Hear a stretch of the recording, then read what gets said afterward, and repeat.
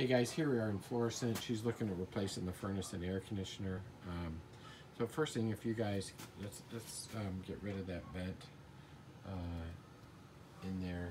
Um, so we're in a little tight compartment back here and she's got a water heater in the way. You're prob more than likely gonna have to remove the water heater to get this uh, in here. I've got the dimensions of the return drop, so we're gonna replace that. Um, uh, she's probably gonna go back with an 80% furnace, so the flue pipe is real simple that we're doing here. The gas line looks good.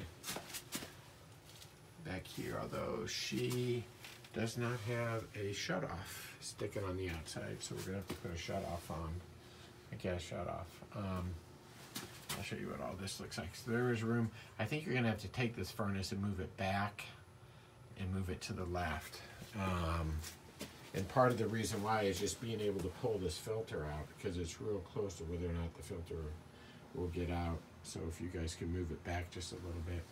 Uh, the, the Freon lines are real simple, so they run from here up overhead and they actually go right out the back right here. So you got less than 15 feet of, of Freon lines there.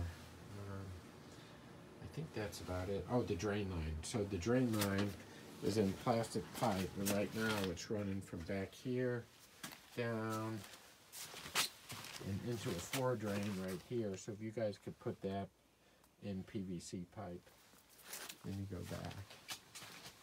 So that's pretty much everything. Just give you one more look at it.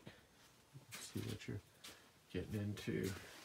All right. Appreciate it. Thanks.